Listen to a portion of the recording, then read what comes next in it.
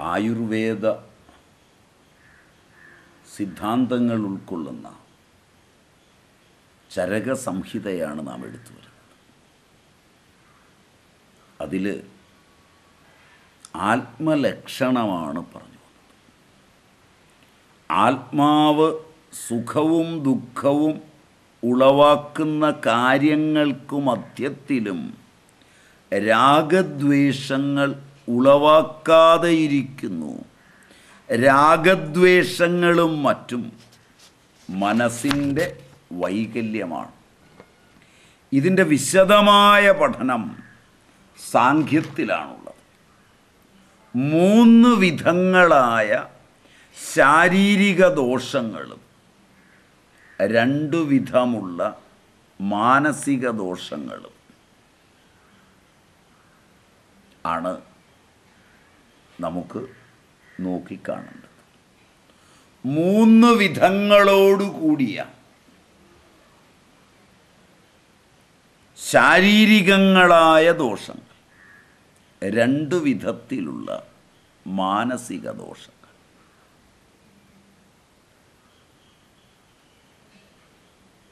നമുക്ക് നോക്കാം ശ്ലോകം. വായുപിത്തം കപശ്ചോക്ത ശരീരോ ദോഷസംഗ്രഹ മാനസ പുനരുദ്ധിഷ്ടോ രജശ്ച തമയേവച. വായു പിത്തം കഭശ്ചോക്ത ശരീരോ ദോഷസംഗ്രഹ മാനസ പുനരുദ്ധിഷ്ടോ രജശ്ച തമ ഏവച വായു വാദം വായു പിത്തം കഭ ശരീര ദോഷസംഗ്രഹ ഉക്ത മാനസ പുനഃ രജ ച തമഹ ച ഉദ്ദിഷ്ട വാദം പിത്തം കഫം എന്ന് മൂന്ന് തരം ശാരീരിക ദോഷങ്ങൾ. വാദം പിത്തം കഫം ശാരീരികങ്ങളായ ദോഷങ്ങളുടെ സംഗ്രഹമെന്ന് ഉക്ത പറയപ്പെട്ടിരിക്കുന്നു. മാനസ മാനസിക ദോഷസംഗ്രഹം പുനഃ ആകട്ടെ. രജഹ ച രജസ്സും തമഹാച തമസ്സും ഉദ്ദിഷ്ട പറയപ്പെട്ടിരിക്കുന്നു. ആയുർവേദം മൂന്ന് ശാരീരിക ദോഷങ്ങളും രണ്ട് മാനസിക ദോഷങ്ങളും പറയപ്പെടുന്നുണ്ട്. വാദവും പിത്തവും കഫവും എന്നിവ ശാരീരിക ദോഷങ്ങളും രജസ്സും തമസ്സും മാനസിക ദോഷങ്ങളും ആകുന്നു. വാദത്തെ ആദ്യം പറഞ്ഞത് അത് ഏറ്റവും പ്രധാനമാകയാലാണ്. ഇതിന്റെ പ്രാധാന്യം ആതുരതയുണ്ടാക്കുന്നതിനാലാണ്. അതും ദുസ്സഹങ്ങളായ രോഗങ്ങളെ വളരെ പെട്ടെന്നുണ്ടാക്കുന്നത് വാദമാണ്. അതുകൊണ്ട് ആശുകാരികളെ വളരെ പെട്ടെന്നുണ്ടാകുന്ന ആശുകാരി മുഹുശ്ചാരി. അത് വളരെ ശക്തമായി പറയുന്നുണ്ട് ചരകം ഒന്ന് ഏഴ്. പറഞ്ഞിട്ടുണ്ട്. വാദം എൺപത് വിധ രോഗങ്ങൾക്ക് കാരണമാണ്. ആശുകാരിയും ഒക്കെയായ വാദം എൺപത് വിധ രോഗങ്ങൾക്ക് കാരണമാണ്. പിത്തം കൊണ്ട് നാൽപ്പത് വിധ രോഗങ്ങളും കഫം കൊണ്ട് ഇരുപത് വിധ രോഗങ്ങളും ഉൽപ്പന്നമാകുന്നു. സൂത്രസ്ഥാനം ഇരുപത് പതിനൊന്ന് പതിനേഴിൽ വളരെ ശക്തമായി പറയുന്നുണ്ട്. വാദം കഴിഞ്ഞാൽ ഏറ്റവും പ്രാധാന്യം ഈ രംഗത്ത് പിത്തത്തിനാണ്. അത് കഫത്തേക്കാൾ കൂടുതൽ രോഗങ്ങളെ ഉൽപ്പാദിപ്പിക്കുകയും കഫത്തേക്കാൾ വേഗത്തിൽ പ്രവർത്തിപ്പിക്കുകയും ചെയ്യും. ഇവ ഓരോന്നും രോഗമുണ്ടാക്കാൻ കഴിവുള്ളവയാണ്. വാതവും പിത്തവും കഫവും അതുകൊണ്ടാണിവയെ ദോഷങ്ങളെന്ന് പറയുന്നത്. സംഗ്രഹപദം ഇവയുടെ അനേകം സംയോഗങ്ങൾ കൊണ്ട് വാതപിത്ത കപങ്ങളുടെ അനേക വിധങ്ങളായ സംയോഗങ്ങൾ കൊണ്ട് എണ്ണത്തിൽ അനേകം രോഗങ്ങളെ കണക്കാക്കാം എന്ന് കാണിക്കുന്നു. അടിസ്ഥാനമായി എൺപത് വാതരോഗങ്ങളും ഇരുപത് പിത്തരോഗങ്ങളും അതുപോ നാൽപ്പത് പിത്തരോഗങ്ങളും ഇരുപത് കഫരോഗങ്ങളുമുള്ളവയെ അവയുടെ സംയോഗങ്ങളനുസരിച്ച് അനേകം രോഗങ്ങളായി കണക്കാക്കാം എന്ന് കാണിക്കുവാനാണ് ഇത് പറഞ്ഞിട്ടുള്ളത്. രക്തത്തെ കൂടി ദോഷമെന്ന നിലയിൽ കണക്കിലെടുക്കുമ്പോൾ മുൻ ചൊന്ന സംഖ്യകൾ ശരിയാവില്ല. വിശേഷിച്ച് കാരണങ്ങൾ നിദാനം ചികിത്സ എന്നിങ്ങനെ രോഗത്തിന്റെ പ്രത്യേകതയെ രക്തത്തെ ആശ്രയിച്ചു കണക്കാക്കിയാൽ വാദമെന്ന പോലെ ആണെന്നതാണ് ഗ്രന്ഥങ്ങൾ നമുക്ക് തരുന്ന സൂചന. കാരണം ഇരുപത്തിനാല് ഒൻപത് ശ്ലോകത്തിലും നിദാനം തപനീയന്ത്രിയ ഗോപാഭം സൂത്രസ്ഥാനം ഇരുപത്തിനാല് ഇരുപത്തിരണ്ടിലും പറഞ്ഞിട്ടുണ്ട്. രക്താർശസ്. രക്തപ്രതരം രക്തപിത്തം തുടങ്ങിയ രോഗങ്ങളെയും എടുത്തു പറഞ്ഞിട്ടുണ്ട്. ചികിത്സകളാകട്ടെ. ശ്രാവണം ശോണിതസ്യതു. സൂത്രസ്ഥാനം ഇരുപത്തിനാല് ഇരുപത്തിയേഴ്. ഇങ്ങനെ പ്രസ്താവിച്ച് കാണുന്നുണ്ട്. അത് ദോഷമെന്ന നിലയിലാണ് ചരകസംഹിതയിൽ പറയുന്നത് കഭേ വാതേ ജിതപ്രായേ എന്ന് ചികിത്സിതം അഞ്ച് ഇരുപത്തിയേഴിൽ. ആയുർവേദത്തിന്റെ മറ്റു ശാഖകളിൽ അതായത് ശല്യം തുടങ്ങിയവയിൽ രക്തത്തെ ദോഷമെന്ന് രേഖപ്പെടുത്തിയിട്ടുമുണ്ട്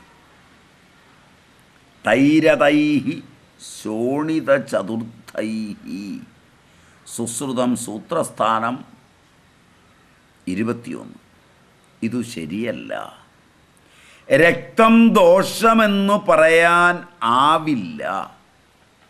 കാരണം ദോഷങ്ങൾക്ക് അവ വികൃതമായാൽ സ്വയം രോഗത്തെ ഉണ്ടാക്കുവാൻ കഴിയും. അതിനന്യ സഹായം ആവശ്യമില്ല.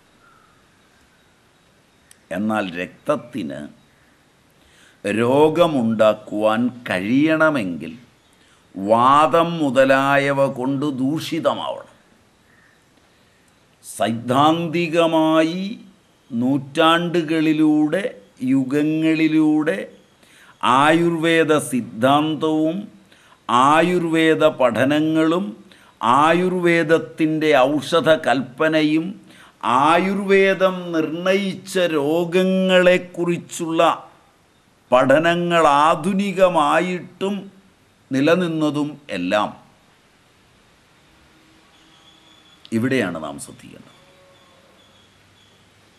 നിഗമനിക രീതിയിൽ ആയുർവേദത്തിന്റെ പഠനത്തിൽ എത്രത്തോളം നിഷ്കർഷ പുലർത്തിയാണ് ആചാര്യന്മാർ തങ്ങളുടെ വാദമുഖങ്ങളെ അനിതര സാധാരണമായ യുക്തി കൊണ്ട് സമർത്ഥിച്ച് തെളിയിച്ചിട്ടുള്ളത്. രോഗത്തിന്റെ കാരണങ്ങളെ മൗലിക സ്വഭാവങ്ങളായ ഭൂതതന്മാത്രകളിൽ ചേർത്ത് സൃഷ്ടിക്ക് കാരണമായ ഭൂതതന്മാത്രകളിൽ ചേർത്ത് അപഗ്രഥിക്കുകയും വാദവും പിത്തവും കഭവുമായി കണ്ടെത്തുകയും വാദപിത്ത കഭങ്ങൾ ദോഷങ്ങളാണെന്നും അവയുടെ തിരിവിൽ നിന്നാണ് രോഗങ്ങൾ ഉണ്ടാകുന്നതെന്നും അതിൽ അവയുടെ സംയോഗങ്ങൾ കൊണ്ട് അനേകം അനേകം വിധങ്ങളായ രോഗങ്ങൾ കാലവും ഒക്കെ ചേർന്ന് വർദ്ധിച്ചു വരാമെന്നും അവ മൂന്നുമേ ദോഷങ്ങളുള്ളൂ എന്നും രക്തം ദോഷമല്ലെന്നും രക്തം കൊണ്ട് രോഗങ്ങൾ ഉണ്ടാകുന്നുവെങ്കിൽ സ്വതന്ത്രമായി രക്തത്തിൽ നിന്നുണ്ടാകുന്നതല്ല ദോഷങ്ങളുടെ ചയം കൊണ്ട് തന്നെയാണെന്നും പഠനം. അപ്പോൾ ദോഷങ്ങൾക്ക് അവ വികൃതമായി കഴിഞ്ഞാൽ സ്വയം രോഗത്തെ ഉണ്ടാക്കാം. അതിന് വേറൊരു സഹായം വേണ്ട. എന്നാൽ രക്തത്തിന് രോഗമുണ്ടാക്കാൻ കഴിയണമെങ്കിൽ വാദം മുതലായവ കൊണ്ട് വാദവിത്ത കഫം കൊണ്ട് ദൂഷിതമാകണം. അങ്ങനൊരു ദൂഷിതാവസ്ഥയുണ്ടാകുന്നില്ലെങ്കിൽ രോഗം ആവിർഭവിക്കുകയില്ല ഒരിക്കലും. അമ്മാതിരി വികൃതാവസ്ഥ വാദം വൈഗുണ്യമായി തന്നെയാണ് പ്രകടമാകുന്നത്. അപ്പോൾ രക്തവികാരം കൊണ്ടുണ്ടാകുന്ന രോഗങ്ങളുടെ കാരണം ശരിയായ കാരണം വാദം മുതലായവയുടെ വൈഗുണ്യം തന്നെ എന്ന് വേണം കണക്കാക്കാൻ. ഇവിടെയും വാദം മുതലായവ കൊണ്ട് രക്തം ദുഷിക്കുന്നതാണ് രോഗത്തിന്റെ യഥാർത്ഥ ദോഷങ്ങളുടെ സമ്മൂർച്ഛനം കൂടാതെ രക്തം തനിച്ച് ഒരു രോഗവും ഉണ്ടാക്കുന്നില്ല. രക്തത്തെ തനിച്ച് പഠിച്ചു. മാംസത്തെ തനിച്ച് പഠിച്ചു. അസ്ഥിയെ തനിച്ച് പഠിച്ചു. ദോഷങ്ങളെ മാറ്റി നിർത്തി. ദോഷപഠനങ്ങൾ അന്ധവിശ്വാസമാണെന്നും ഒക്കെയുള്ള മഹാത്മാഗാന്ധിയുടെ വചനങ്ങളെ പിൻപറ്റി ആധുനിക വൈദ്യശാസ്ത്രം അരങ്ങ് തകർത്താടാൻ രംഗപ്രവേശം ചെയ്തിട്ട് രോഗങ്ങൾ കൊണ്ട് മരിച്ചു പോകുന്നവരുടെ എണ്ണം കൂടുന്നതല്ലാതെ മൗലികമായി ചികിത്സ ചെയ്ത് രക്ഷിക്കാൻ പറ്റാതെ വരുന്നു എന്നത് ശ്രദ്ധിച്ചു നോക്കിയാൽ ബോധ്യമാവും. ഇവിടെയാണ് ആധുനിക പഠനങ്ങൾക്ക് നിഗമനിക രീതിയിലുള്ള മൗലിക സ്വഭാവത്തോടു കൂടിയ സിദ്ധാന്തങ്ങളില്ലെന്നും അവ ആഗമനിക രീതിയിലുള്ള പരീക്ഷണങ്ങൾ മാത്രമാണെന്നും അതുകൊണ്ടവ കാലാതീതമായി നിലനിൽക്കുന്നില്ലെന്നും ബോധ്യപ്പെടാൻ. ഇതിന്റെ തലം വെച്ചുകൊണ്ട് പഠിക്കുമ്പോഴാണ് രക്തത്തെ വച്ചുള്ള ചരക പഠനവും അതിന് ചക്രപാണിയുടെ വ്യാഖ്യാനവും ശ്രദ്ധേയമാകുന്നത്. അപ്പം രക്തം തനിച്ചൊരു രോഗവും ഉണ്ടാക്കുന്നില്ല. രക്തം അതിന്റെ അളവിൽ വർധനയെ കാണിക്കുന്നത് അതിൽ തന്നെയുള്ള ദൂഷ്യമല്ലേ? ദൂഷ്യങ്ങളുടെ സമ്മൂർച്ഛനത്തിന് വിശേഷ കാരണങ്ങൾ ഇല്ല. അതും വാദാതി ദോഷങ്ങൾ കൊണ്ട് തന്നെയാണ്. രക്തം കൊണ്ടല്ല. അതായത് ദോഷങ്ങൾ തന്നെയാണ് ധാതുക്കളുടെ സാമ്യമില്ലാതാക്കി ധാതുവിനെയും ദൂഷിതമാക്കുന്നത്. സമാനത കാരണം സാമീപ്യം കാരണം ദോഷ സാമീപ്യം കാരണം. ദോഷങ്ങളുടെ കർമ്മഭാവം ദൂഷ്യങ്ങൾക്കാണ് ധാതുക്കൾക്കാണ് ബാധിക്കുന്നത്. അവയുടെ മേലാണ് അതിന്റെ കാരണം ചുമത്തുന്നത്. ആധുനിക വൈദ്യശാസ്ത്രവും മറ്റും രോഗകാരണം ചുമത്തുന്നത് ധാതുക്കളുടെ മേലാണ്. ദോഷ സമ്മൂർച്ഛനവും ദോഷകോപവുമൊക്കെ കണക്കിലെടുക്കാതെയാണ് ഇത്. ഈ അടിസ്ഥാനത്തിലാണ് രോഗങ്ങളെ രക്തജം മാംസജം എന്നിങ്ങനെയൊക്കെ വേർതിരിച്ച് പറയുന്നത്. ഇത് സ്നേഹദഗ്ധം. എന്ന് പറയുന്നത് പോലെയാണ്. പൊള്ളിയത് ചൂട് കൊണ്ടാണ് ചൂടേ പൊള്ളിക്കുള്ളൂ. എണ്ണ പൊള്ളിക്കില്ല. എണ്ണ തിളപ്പിച്ച് ഒരാളുടെ കയ്യിൽ വീണ് പൊള്ളിയാൽ എണ്ണ കൊണ്ട് പൊള്ളി എന്നാണ് പറയുന്നത്. എണ്ണ പൊള്ളാറില്ല. ചൂട് കൊണ്ടാണ് പൊള്ളിയത്. അപ്പം സ്നേഹദഗ്ധം എന്ന് പറയുന്നത് പോലെ ചൂടിനെ കൈമാറിയത് എണ്ണയാണ്. അതുകൊണ്ട് എണ്ണ കൊണ്ട് പൊള്ളി എന്ന് പറയുന്നു. എണ്ണ പൊള്ളിക്കുന്നില്ല തീയാണ് പൊള്ളിക്കുന്നത്. ശരീരത്തിനുണ്ട് ഉപദ്രവമുണ്ടാക്കുന്നവയെയും ദോഷമെന്ന് പറയും. ഉദാഹരണത്തിന് സ്വയം പ്രവർത്തം തം ദോഷമുപേക്ഷേതേ ചികിത്സിതം അഞ്ച് നാൽപ്പത്താറ്. അവിടെ പുരീഷത്തെ ദോഷമായി പറയുന്നുണ്ട്. സുശ്രുത സംഹിതയിൽ രക്തത്തെ ദോഷമെന്ന് പറയുന്നുണ്ട് എന്നാൽ അത് വ്രണത്തെ പറയുന്ന സന്ദർഭത്തിലാണ്.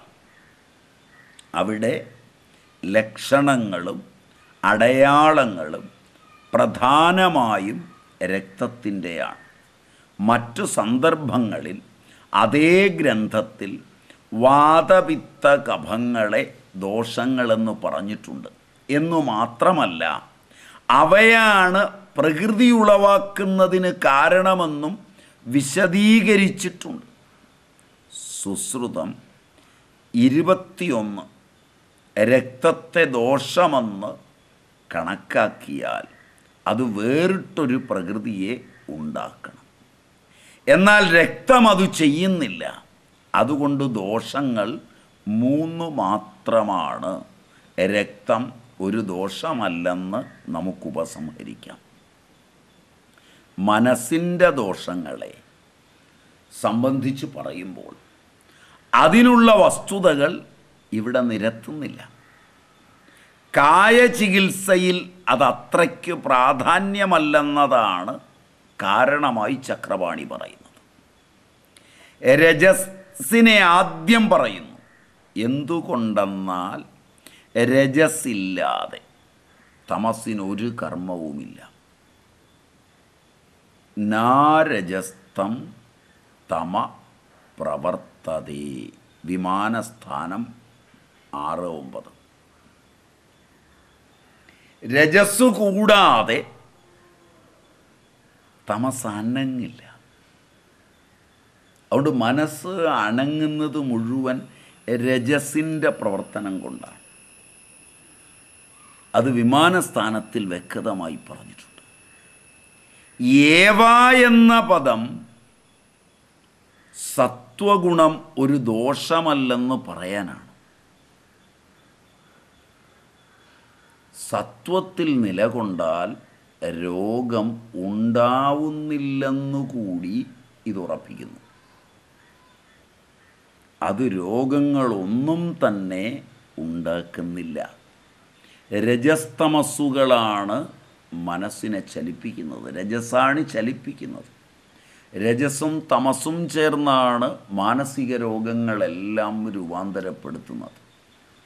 അപ്പോൾ ശാരീരികങ്ങളും മാനസികങ്ങളുമായി രോഗത്തെ പഠിക്കുമ്പോൾ ചരകം സുശക്തമായി. മൂന്നും രണ്ടും. മൂന്ന് ദോഷങ്ങളും രണ്ട് ഗുണങ്ങളുമാണ് ശാരീരിക രോഗങ്ങൾക്കും മാനസിക രോഗങ്ങൾക്കും കാരണമായി തീരുന്നത്